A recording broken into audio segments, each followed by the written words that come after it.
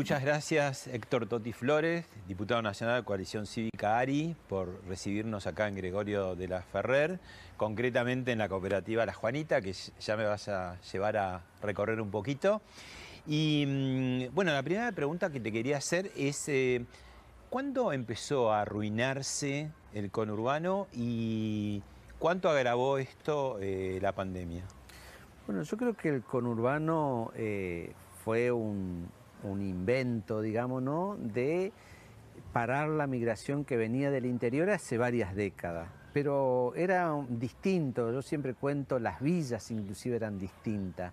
Vos en una villa iba con tu casilla de madera porque lo pensaba sacar. Con materiales. claro. Era algo temporal. Era, era algo y estaba en tu cabeza. Apenas conseguía un trabajo más o menos estable, te comprabas el terrenito en cuota, pero ya te iba con tu casilla tu terreno y a partir de ahí empezabas a construir. Estamos hablando de la época en que eh, en la cabeza solamente existía la cultura del trabajo. Así es. Yo vine en los 70, a principios de los 70 acá venía de Entre Ríos y bueno, viví en una villa un año, después me vine a vivir en, La Matanza, en Villa El Libertador, en San Martín vine, ¿no? Y en la década de los 90, por ejemplo, era muy particular porque había en estos lugares, La Matanza tiene muchos lugares que se inundan, antes de las elecciones te traían un montón de tubos y te dejaban ahí cerca del arroyo, no te decían nada, pero te lo dejaban ahí.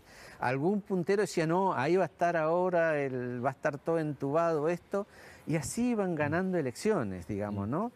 Después pasaban las elecciones y se llevaban los tubos a otro lado, digamos, ¿no? Eh, creo que muy creativo en el sentido de este engaño permanente a la gente y sistemático, porque no es que lo hacía un puntero. ¿Y la pandemia cómo complicó?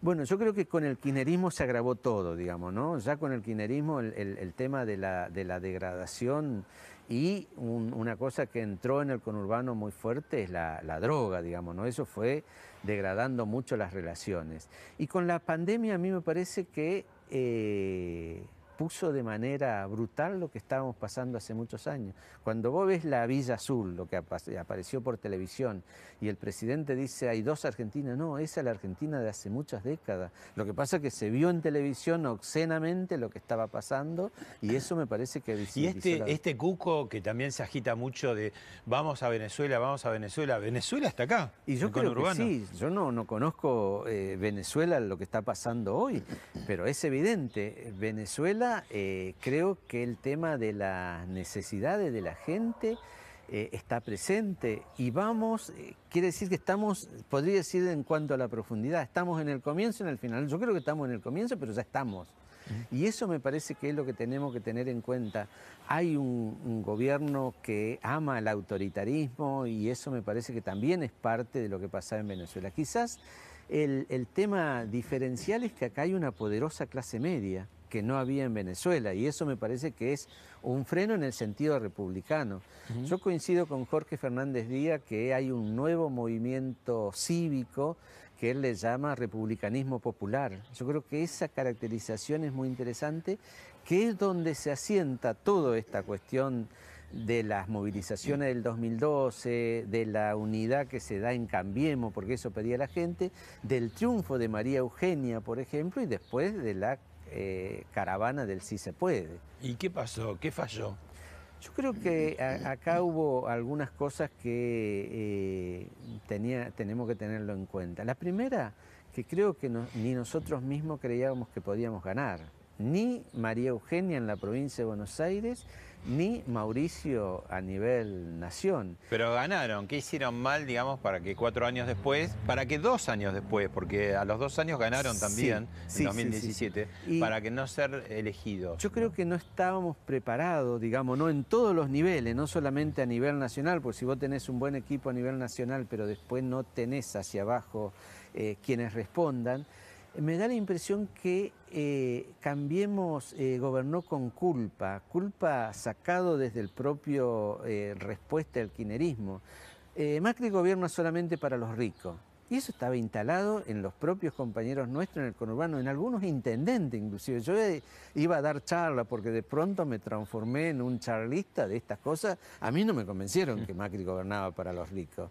Eh, yo tuve una charla con él y le pregunté. Y ¿Pero mejoraron o empeoraron los pobres en el eh, periodo de Macri? Yo creo que sí desde el punto de vista de la, de la pobreza estructural. La cloaca. Eh, ¿Se avanzó en eso? Se avanzó muchísimo. Acá no, no había las obras que se hicieron, el asfalto, lo que no se, con, lo que no se, lo que no se ve.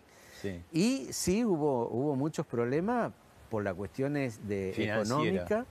Eh, la crisis financiera del 18 porque y la lluvia de inversiones tampoco llegó. Y la, y la lluvia de inversiones que no, no, llegó. Yo creo que de alguna manera este, Macri se sintió traicionado por su clase, que nunca llegaron lo que podía ser eh, eh, importante. Y tenía que ver que eh, creo que hay una cuestión cultural muy metida en la Argentina, que es que no se puede gobernar con alguien que no sea peronista. Y eso también está en la cultura de los empresarios. Toti, te llevo al túnel del tiempo y seguimos hablando. Dale.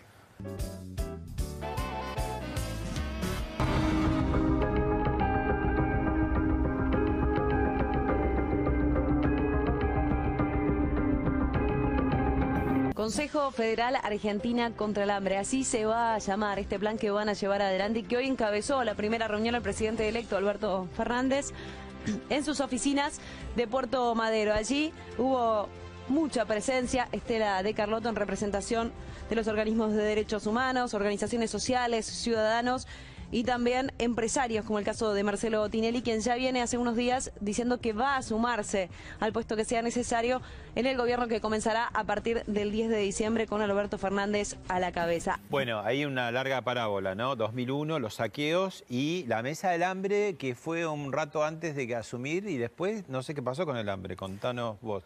De los saqueos al hambre, entre comillas, Bien, la, yo creo que de lo que pasó en el 2001 hay algunas diferencias, digamos, ¿no? En el 2001 eh, no había, red de contención. los programas sociales se masifican en el 2002 con el gobierno de Dualde. Jefes y jefas. Exactamente, que llegan a dos millones en ese momento. Y la otra cuestión que hoy yo creo que ya es evidente que para que sucediera eso, lo que estaba era también una feroz interna en el poder. Eh, al gobierno de la Rúa, por ejemplo, los supermercados no le vendían este, alimento para, la contención eh, tres o cuatro meses antes, nos decían ahora. Y la interna peronista era feroz también, digamos, ¿no? Que estaban en la provincia de Buenos Aires, los piquetes, nosotros conocemos todos los piquetes y los cortes de ruta que duran. Así es, por eso. De los que, duran, que duran 20 o 30 días, no se puede sostener si no hay un financiamiento. Y generalmente los financiamientos lo hacían los propios gobiernos provinciales o municipales. ¿Y qué pasaba con el hambre cuando se iba Macri y cuando llegaba Alberto? ¿Y qué pasa con el hambre hoy? Bueno, yo creo que ahí hubo una gran puesta en escena con relación al hambre. Había necesidades, porque nunca se terminó de haber necesidades, pero los sectores más pobres estaban contenidos por los programas sociales también acá. O sea, por ahí mala alimentación, sí, sí, pero hambre Hambre en el sentido del 2001, que lo que nosotros conocimos, que no tenías para comer dos o tres días, no había. Y... Bueno, ahí te acordás que se decía en ese momento, cuando asumía Alberto Fernández, el eslogan, después lo dejaron de usar, de tierra arrasada, ¿no? Entonces, bueno, coincidía el hambre, podía ser. Ahora, llevamos no sé cuántos meses de cuarentena y pandemia sobre tierra arrasada. No, ya deberíamos estar, en... Todos, Sí, sí, ya teníamos que estar en la fosa, digamos, de esa tierra arrasada. Era evidente que había eh, una organización del Estado que de alguna manera pudo soportar toda esta crisis sin producir riqueza, digamos, ¿no? Que ya llevamos cuatro meses.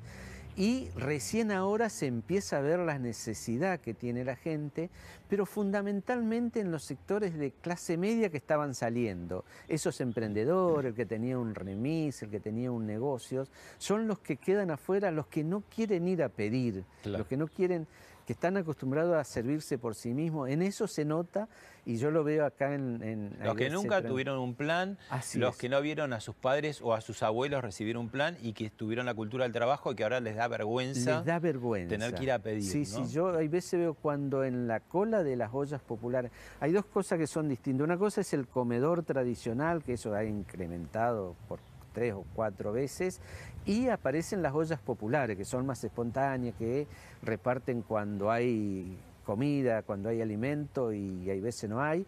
Eso sí aparece cuando hay necesidad, evidentemente una señora que empieza a hacer eso y que recibe eso. Ahí, por ejemplo, cuando van estos sectores van con mucha vergüenza y con mucha con mucha eh, sentimiento de culpa. Toti, eh, te invito a ver otro material. Bien. Siento muy privilegiado de poder este, ser uno de los pocos argentinos que puedo hacerle preguntas. y ahora voy a contestar. Yo quería, quería preguntarle. Después de, después de ver los pocos transparentes eh, índices de inflación, de delincuencia y de pobreza, ¿no le parece que sería un momento de empezar a hacer una autocrítica y empezar a aceptar un poco distintas opiniones? A ver, primero te voy a contestar, porque no solo contesté a tu anterior compañerito, eh, sobre el tema de que soy uno de los pocos privilegiados que no puedo hablar. Chicos, estamos en Harvard. Estamos en Harvard. Estamos en Harvard, por favor. Esas cosas son para la matanza, pero no para Harvard.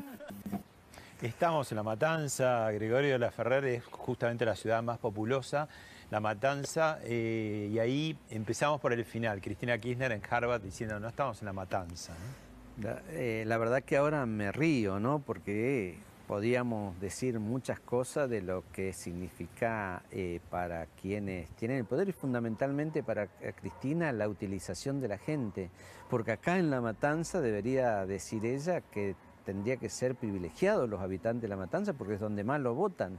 Y sin embargo... La diferencia, ese 41-48 se dio precisamente acá en La Matanza, Sí, sí, sí, en La Matanza, y eso es una cosa que en, la cabeza de los matanceros nuestros que no estamos de acuerdo con esta forma de hacer política, eh, lo tenemos muy presente.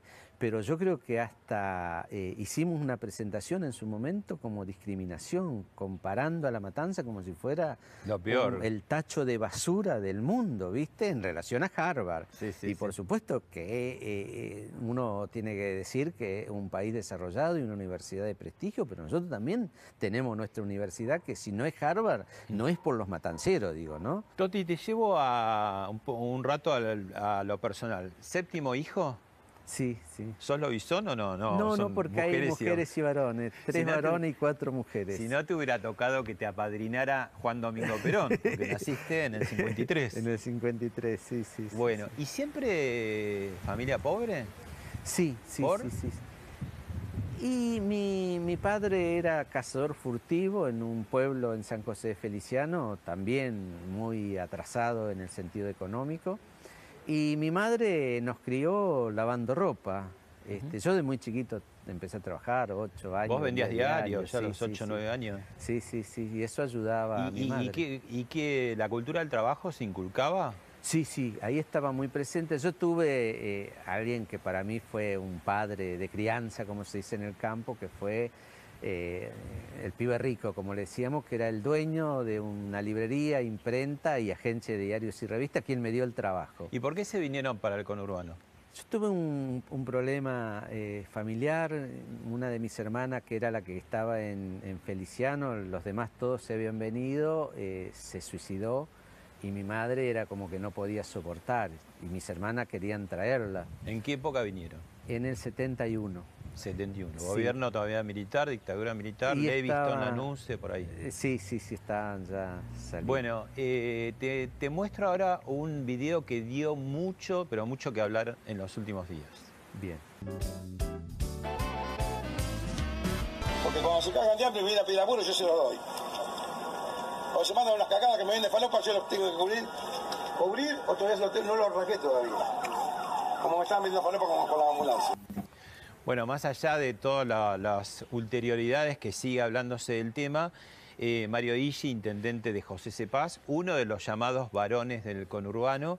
Eh, bueno, más allá de que haya sido o no sacado del contexto, ahí salieron unos compañeros, el de Gurlingan, Zabaleta, Seco, a decir que este, había sido sacado de contexto, pero que no quiso decir falopa, que dijo medicamento. ¿Qué pasa con la falopa, la droga? Yo creo que el pueblo argentino, pasado un tiempo, le va a agradecer a Isi. Eso que se dice y que uno a veces no se anima a decir en los medios, eso que eh, se rumorea por todos lados, que la droga está instalada en el conurbano, fundamentalmente lugares que yo conozco, eh, con la complicidad del poder político local, Isi lo, lo dijo. Lo dijo claramente, yo creo que más allá de, de, la cuestión de los argumentos para después decir lo que no se dijo, pero ahí es clarísimo.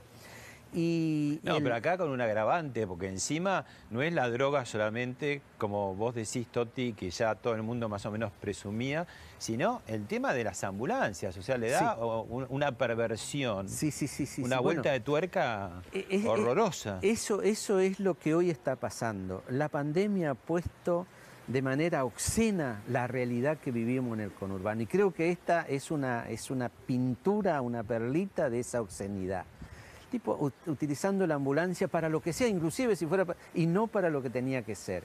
Pero eso te tiene que causar indignación al pueblo argentino eh, que lo diga una persona que realmente es un funcionario que está y que salgan otro a defenderlo, digo, ¿no? Entonces quiere decir que es un sistema. Este es tremendamente peligroso porque que se difunda, que haya una cámara oculta, quiere decir que había alguien que estaba esperando que diga y algo. Que estaba al lado suyo. Y que tiene que ver con lo que pasó en el 2001 con las internas del Partido Justicialista. Acá nadie me puede sacar de la cabeza a mí, no tengo forma de eh, comprobarlo, digamos, pero que hay una interna al rojo Ahora esas internas... Ya no es por, la, por quién reparte la bolsa de comida, como en el 2001, eh, para ganar votos. Yo creo que acá está la interna de quién maneja el delito en la provincia Ahora, de Buenos esas Aires. internas, lamentablemente, sabemos históricamente... Terminan a los tiros. Se resuelven a tiro. Sí, sí, sí, no, no hay ninguna duda, por eso es tan peligroso el momento que estamos viviendo. Y eso creo que ahondaría la crisis económica, social y toda esa cosa, porque imagínate en, un país que se dice esto abiertamente, un inversor que quiere traer su capital de afuera. Ni loco vengo, es decir, como si me dijera que ibas a ir a invertir en Colombia en la época de Pablo Escobar. Mm. Bueno, te llevo ahora a un momento por ahí más grato para vos, que era cuando la precandidatura presidencial de Elisa Lilita Carrió, que vos la acompañabas como precandidato a vicepresidente. Es una tradición de las mafias en la Argentina tocar a mis candidatos a vicepresidente. Lo vivió Gustavo Gutiérrez, lo vivió Giustiniani, lo viví vos, lo vivió Olivera. Porque en definitiva el sistema de poder y de mafias de la Argentina quiere que esté sola. Y me muestra sola. Y la verdad que millones me acompañan. Bueno, ahí un poco me, da pie para decir de este, que, por ejemplo, Wikipedia te maltrata y te agita como diciendo que tenías eh, vos relaciones con, o, o, tu entorno familiar con la droga, o que tenías este, maestras eh, usando la campaña electoral. ¿Qué, cómo, ¿Cómo es el tema este? Porque Lilita también ahí habla que, que le apuntaban las mafias, ¿no? Sí, yo creo que hay algunas cosas que no pueden decir nada de mí. Yo no tengo propiedad, vivo en el mismo lugar hace 35 años. Vos has visto, nos hemos movido por la Juanita, no tengo custodia, nada.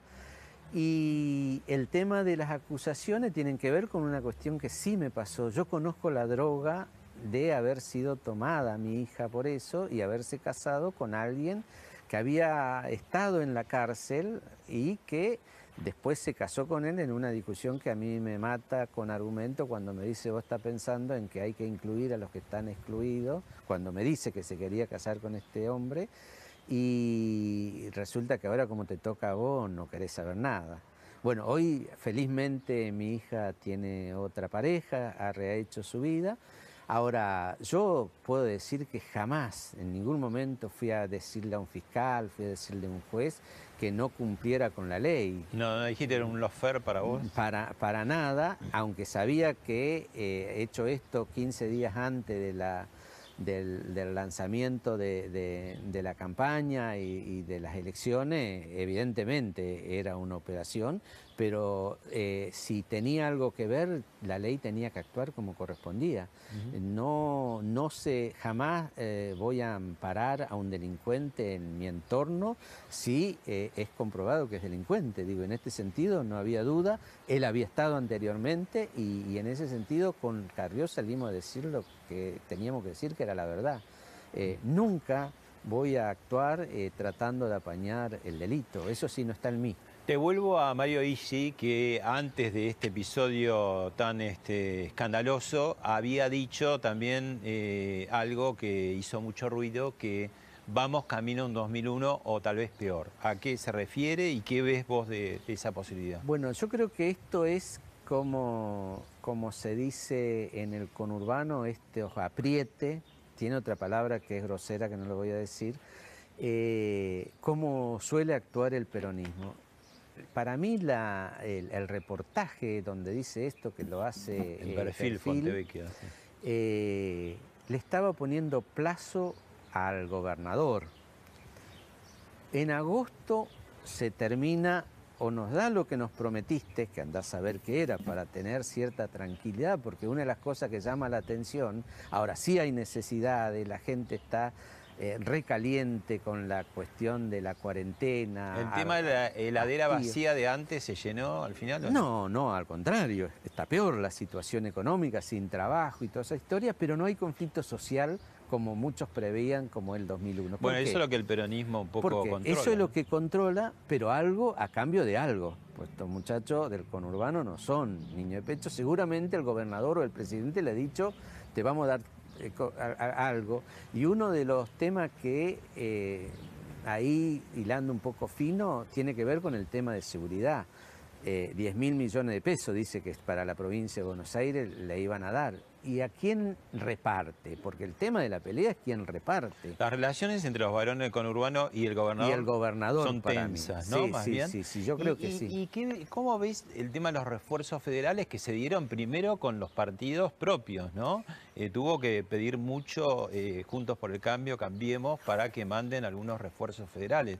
¿Y por qué hace falta los refuerzos federales? Después de un primer tiempo la cuarentena más o menos tranquilo a nivel de seguridad, ahora explotó el tema, ¿no? Sí, mira, lo primero que tenemos que decir es que los refuerzos federales son absolutamente necesarios en un conurbano caliente, donde precisamente muchas cosas de la inseguridad son las zonas liberadas por las, policías distritales y provinciales que eh, tienen connivencia con el delito. Entonces, esos son absolutamente necesarios y tiene que haber una reivindicación en ese sentido.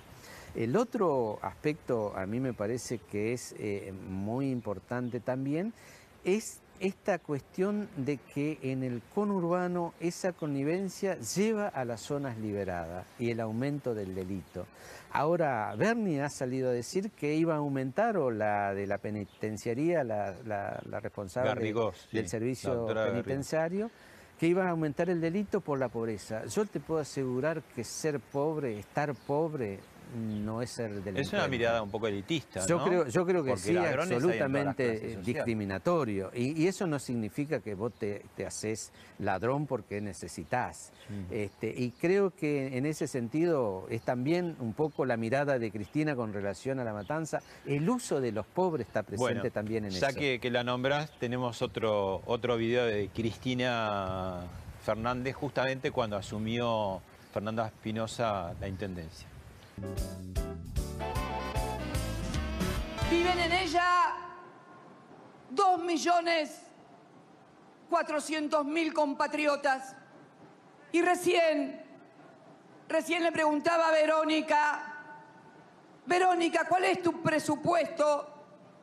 ¿Cuál ha sido el presupuesto de la matanza en este año 2019? Y Verónica me cuenta que el presupuesto de la matanza ha sido de 10 mil millones de pesos para 325 kilómetros cuadrados, 2 millones 400 mil habitantes y cuántas necesidades.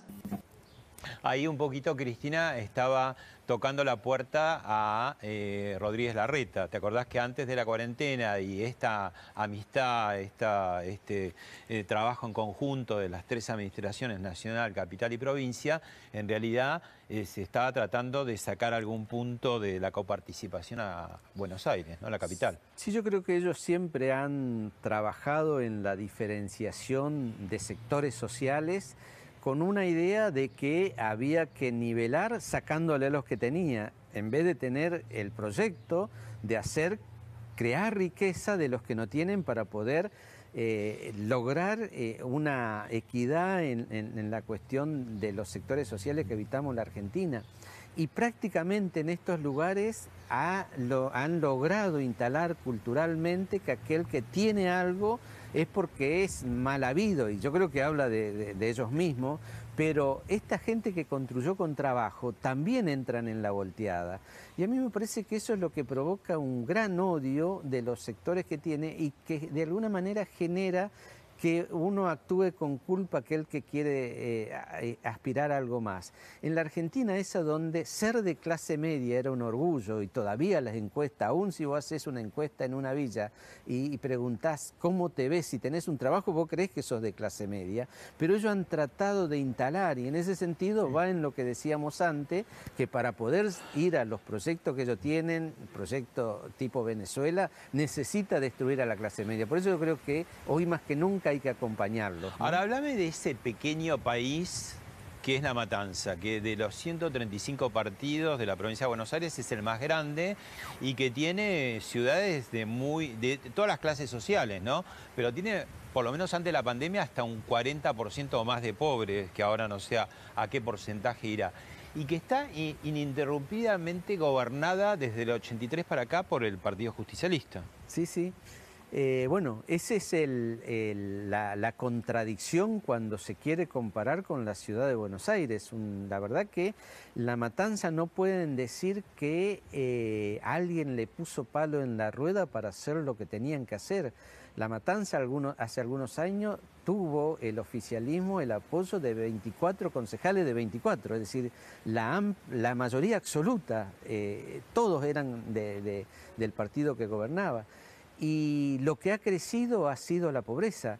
En, en, los años del 2004 al 2007, cuando el país crecía a tasa china con el, precio de la soja y todas esas cosas, en la matanza lo que más crecieron fueron los asentamientos y los asentamientos se daban eh, en, la expansión de los que ya estaban, pero Estamos también hablando de más de 100 villas, ¿no? 130 118 villas. Bien. 118 villas. El historiador e investigador Jorge Osona hace un comentario y te deja una pregunta, picando.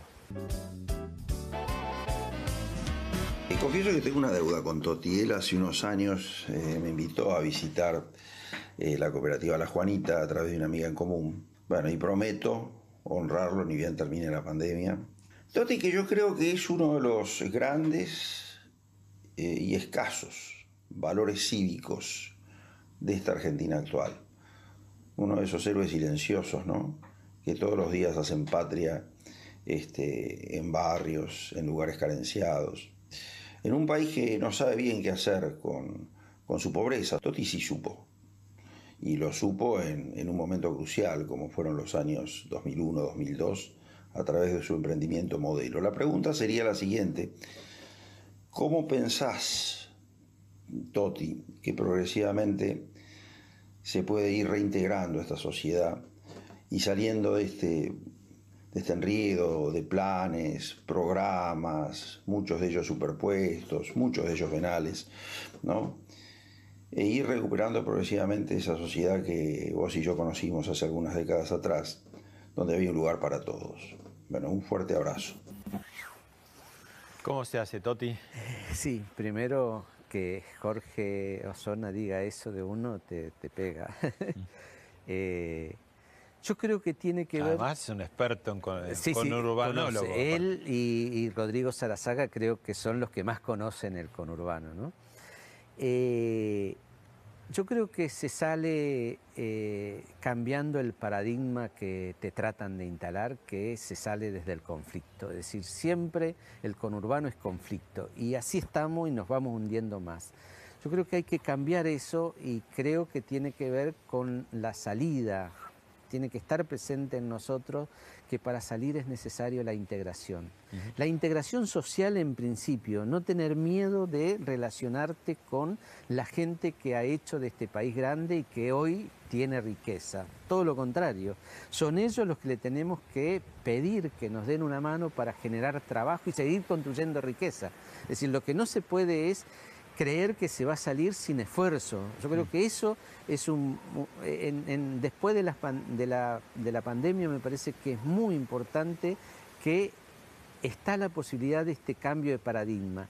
Y la riqueza ya no viene solamente del trabajo manual, de pico y pala. Yo creo que también instalar que acá hay gente que es capaz de eh, hacer teletrabajo, que es capaz de instalarse en la economía del conocimiento, que hay capacidades, que hay que descubrirlo y llevarlo adelante como ese gran proyecto que nos abrió la cabeza Juan Campanella con los oficios digitales. En Los Janitas nosotros probamos de que de la, de la nada, de haber perdido todo cuando perdés el trabajo, se puede salir. Ahora, salimos con otros, no nosotros solos. ¿eh?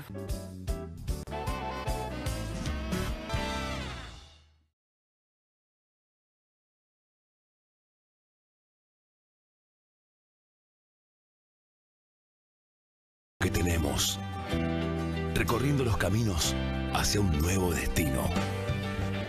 A ese destino que no marca un final, sino un nuevo comienzo. Porque sabemos que la meta más importante es siempre la que está por venir. Y Beco, nuestra trayectoria también es hacia adelante. Yo recomiendo tener una oficina RIMAX porque es la red más importante del país. Porque es el modelo que revolucionó el mercado inmobiliario y cambió la vida de miles de personas. Si querés tener tu empresa sin estar solo, abre una oficina RIMAX. Hay una franquicia RIMAX para vos también. Llega el Comfort Sale a Divanlito. Aprovecha hasta un 40% off y 18 cuotas sin interés en los mejores productos de Relax a precios verdaderamente increíbles. Nunca existió un sale que te dé tanto confort. Compra online en divanlito.com. En Peisa, calefaccionamos las bases de la Antártida. Imagínate lo que podemos hacer con tu casa.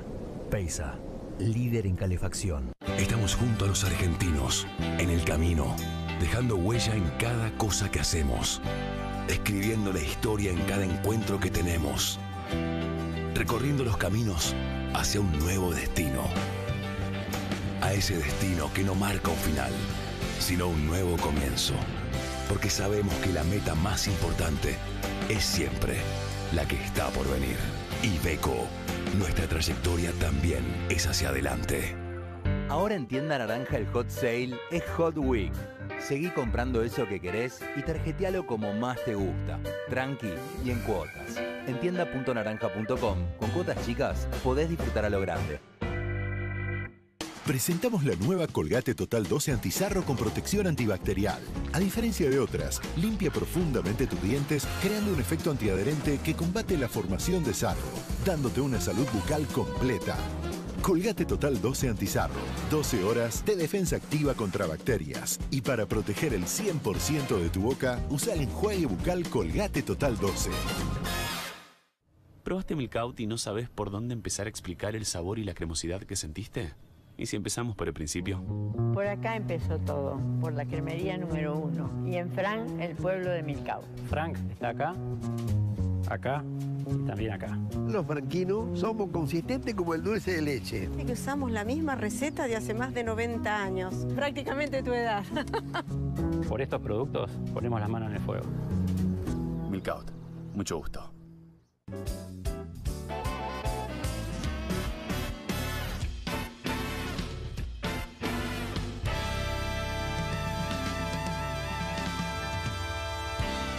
Bueno, llévame a recorrer un poquito, mostrarme un poco cómo funciona la Juanita. Bien. Bueno, Toti, vamos a hacer una mini recorrida por eh, la cooperativa La Juanita. Eh, bueno, primero contanos con quién estás. Bueno, Silvia Flores, la directora ejecutiva de la cooperativa, hace ya más de 10 años que está ella cuando yo me voy a, a la política, como se dice en el barrio, este, siempre me dijeron, bueno, ¿qué va a pasar acá? No pasó nada, anduvo mejor, así que la cooperativa creció y bueno, ella está a cargo. Jóvenes más que nada directivos. Bueno, ¿qué vamos a ver primero? Bueno, primero vamos a ver en este espacio, es el patio del Jardín de Infantes. Y ahora no esta- funciona por la cuarentena. Claro, están con teleeducación, digamos, ¿no? Que no son todos los chicos, pero las maestras todos los días le mandan tareas. ¿Cuántos chicos normalmente están acá? Y alrededor de 90. Hay tres, tres turnos, tres aulas de distintos años. Y bueno, eh, este jardín de infantes surgió en el 2004. eh, es cuota cero, pero que tenía un sistema de padrinazgo, todavía tiene, que... eh, Los padres tienen que aportar trabajo. o- Sí, gente de afuera que quería una mejor educación para nuestro niño aportaban dinero. Y los padres tienen que venir una vez a la semana a una reunión que le llamamos de comunidad educativa y también mm, cada cuatro o cinco semanas tienen que estar en el aula dando eh, la merienda y todo eso. Eh, como una forma de que los padres intervengan en la educación, digamos, ¿no? Y sepan lo que es para una maestra estar con 30 chicos, 20 y pico de chicos todos los días. Y también la maestra, eh, de alguna manera, para darle seguridad de que acá no pasa nada raro, digamos, ¿no? Bueno, avancemos. Bueno, el Jardín de Infante tiene, tiene tres, tres aulas. Hoy están ocupados por... Acá está liberado. Bien. Este, muy interesante porque son aulas que en este lugar tienen un amplio espacio y todas las aulas tienen un baño individual por sala.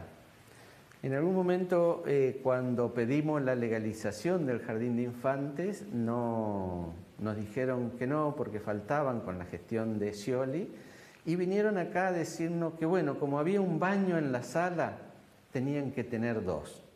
Dijimos, no, ah, otros jardines de infantes que no tienen baños químicos, digo, ¿no? Entonces, siempre hubo como una actitud de no habilitar esto.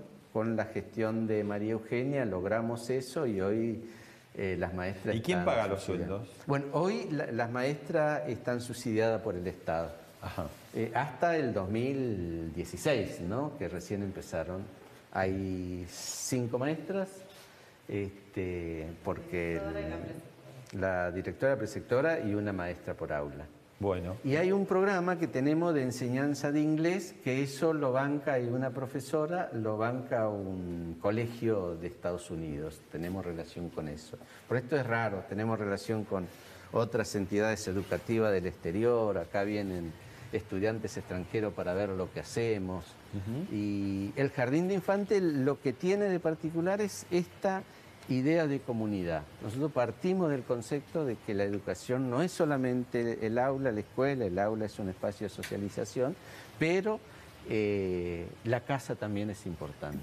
Ahora vamos a hablar, acá eh, había una oficina de empleo que era también parte del Ministerio de Trabajo, con la nueva gestión eso se cortó, pero nosotros seguimos sosteniéndolo eso desde la cooperativa porque lo que nos parecía importante que las organizaciones sociales sean también los que de alguna manera evacúan las demandas de trabajo. Entonces ya Sí. no te Acá ven. tenés, ¿qué? Talleres. Estos serían. son talleres de, de capacitación. Sí, ¿eh? Como verás, teníamos anotado al comienzo del año alrededor de 1.500 alumnos, que no es, acá no se le da nada, no hay planes, son gente que viene y paga 100 pesos por aprender algún oficio. Y el año pasado se capacitaron alrededor de, de 2.000 alumnos. Acá vino el ministro para dar los certificados y todas esas cosas. Con lo cual nos- a nosotros nos marcaba de que había una necesidad de la gente de pensar en el trabajo. hacer ¿viste? cosas, claro. Si tenés la oportunidad, la gente eh, se, se mete en eso. Y acá estaba la oficina de empleo que sigue funcionando las chicas y ahora se encargan también de toda la logística de las donaciones que Hola, llegan para, para las ollas populares y todo eso.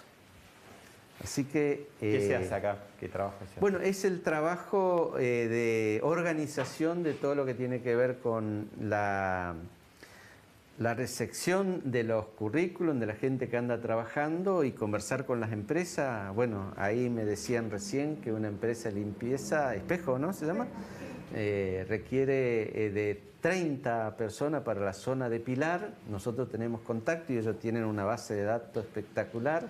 Este, se, lo, se lo mandamos, entrevistan a la, a la gente y se lo mandan a las empresas.